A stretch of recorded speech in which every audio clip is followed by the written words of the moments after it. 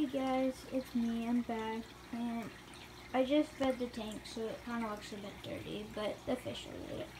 So, last night I got a $200 fish, which sounds expensive, but I got him for 29 So, I don't think you can see him right now, but I got a blue leopard discus but those fish are usually 160 to 200 dollars.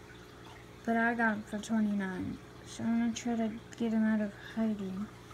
But you can kind of see them back there. Yeah. can get a better shot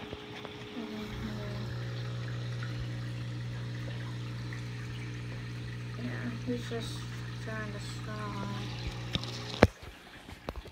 Video. 先从白。